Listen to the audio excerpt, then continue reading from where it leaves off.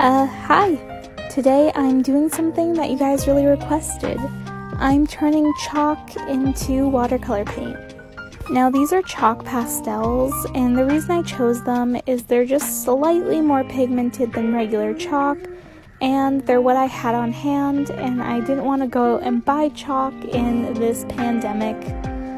So, yeah, I ended up grinding it up on some sandpaper and then using my muller to get it really nice and fine.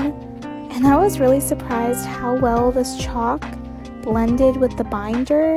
It got really pigmented like right away.